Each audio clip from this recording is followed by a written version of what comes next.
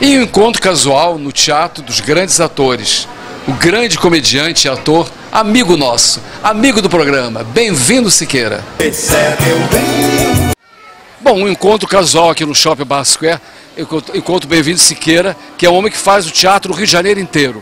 O seu talk show, seu monólogo sobre a sua esposa, Dona Encrenca, Dona Encrenca. continua com sucesso. É um, é um fenômeno esse espetáculo, já está há dois anos em cartaz, agora estou trazendo aqui para o Bar Square, para o Teatro dos Grandes Atores, estou estreando hoje e vai ficar todo mês de março, todo final de semana, sexta, sábado, domingo, aqui nos Grandes Atores. Dona Encrenca só muda o endereço, onde eu falo do meu casamento, da minha relação, 38 anos de casado, da relação de marido e mulher, de esposo e esposa, é muito interessante, é muito divertido. Televisão, voltas à TV Record? Eu continuo contratado da TV Record, esperando agora uma das duas novelas que vai entrar no ar aí, a chamada. Não tem personagem definido ainda não, mas estamos lá, estamos junto.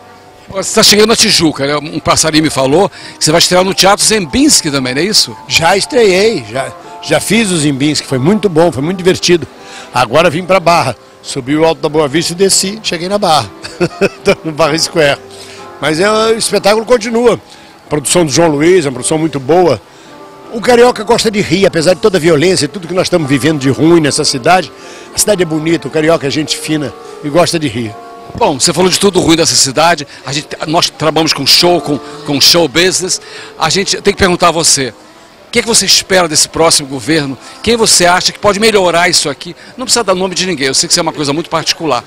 Está muita confusão, entra, sai, pode, não pode. Como é que você vê isso em outubro? Não importa quem vai ser eleito, se não cuidar do social, do bem-estar social, nós vamos viver a barbárie que nós estamos vivendo.